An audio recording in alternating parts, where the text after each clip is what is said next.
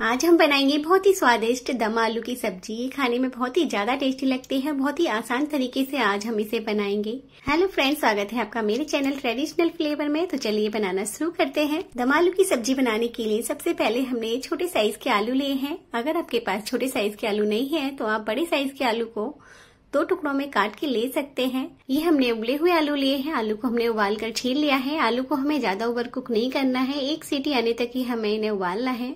तो सबसे पहले हमने इसको फोक से इस तरीके से छेद कर लेना है। इस तरीके से, जिससे कि जब हम इसे ग्रेवी में पकाएँ तो अंदर तक अच्छे से ग्रेवी और मसाला जाए।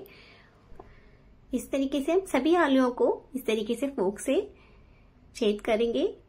अब इसके बाद हमने लिए हैं चार मीडियम साइज़ के टमाटर, जिनको हमने रफली चॉप कर लिया है और आठ से दस काजू लिए हैं, जिनको हमने भिगो कर रखा था।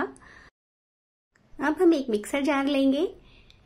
इसमें हम डालेंगे कटे हुए टमाटर और सोख हुए काजू डालेंगे। दो हरी मिर्च डाल रही हूँ मैं इसमें और एक छोटा टुकड़ा हम इसमें डालेंगे अदरक का। और सभी को हम अच्छे से पीस लेंगे। काजू और टमाटर को हमने पीस के तैयार कर लिया है। अब हमने लिया है एक पैन। इसमें हम ऑयल गरम करेंगे। तो चार से पाँच बड़े चम्मच में इसमें ऑयल ले रही हूँ। ऑयल को हम अच्छे से गरम कर लेंगे और जो उबले हुए आलू थे, हम उनको फ्राई करेंगे। आलू को हमें गोल्डन ब्राउन होने तक फ्राई करना है। गैस का फ्लेम हमें लो रखना है लो फ्लेम पर हम इन्हें फ्राई करेंगे। ये देखिए हल्का हल्का गोल्डन कलर आ गया है। इन्हें फ्राई होने में ज़्यादा समय नहीं लगता है। और देखिए, अच्छे से फ्राई हो गए हैं। अब हम इन्हें प्लेट में निकाल लेंगे। पैन में थोड़ा सा ऑयल बच गया है। ये देखिए, आप चाहे तो इसमें थोड़ा और बढ़ा सकते हैं या फिर इसी में सब्ज़ी बना लीजिए। तो मैं अभी इतना ही ऑयल ले रही हूँ। आप अपने हिसाब से थोड़ा कम ज़्यादा कर सकते हैं। इसमें हमने डाला है एक चम्मच जीरा। थोड़ी सी हम इसमें डाल रहे हैं हींग। तो हींग आप ज़रूर डालिएगा, क्योंकि इससे बहुत ही बढ़िया टेस्ट आता है सब्ज़ी में। थोड़ी सी मैं ले रही हूँ खड़े मसाले, जिसमें मैंने ली है। दो इलायची, जिनको मैंने थोड़ा थोड़ा खोल दिया है, चार से पाँच काली मिर्च, दो लौंग, एक छोटा टुकड़ा दालचीनी का और एक तेजपात का पत्ता। सभी को डालकर हम हल्का सा फ्राई करेंगे। गैस का फ्लेम हमें लो रखना है। आधा छोटा चम्मच हम इसमें डालेंगे हल्दी और अच्छे से फ्राई कर लेंगे जिससे इसका कच्चापन निकल जाए। मैं ये सब्ज़ी बिना प्याज लहसुन के बना रही हूँ। अगर आप प्याज लहसुन खाना पसंद करते हैं तो प्याज को अच्छे से पीस कर इसमें भून लीजिए। उसके बाद आप टमाटर का और काजू का पेस्ट डाल के भून लीजिए। तो मैं इसमें प्याज नहीं डाल रही हूँ तो मैंने इसमें टमाटर काजू का पेस्ट डाल दिया है और इसको हम भूनेंगे अच्छे से जब तक कि इसका ऑयल बाहर नहीं आ जाता और ये पैन नहीं छोड़ने लगे। अभी हम इसमें कुछ मसाले डालेंगे। तो एक चम्मच में इसमें डाल रही हूँ लाल मिर्च पाउडर। तो एक कश्मीरी लाल मिर्च पाउडर है जिससे कलर बहुत अच्छा आता है।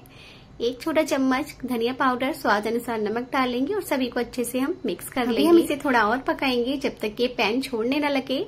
ये देखिए, ग्रेवी को हमने अच्छे से पका लिया है, इससे ऑयल भी बाहर आने लगा है। अब इसमें हम मिलाएँगे दही।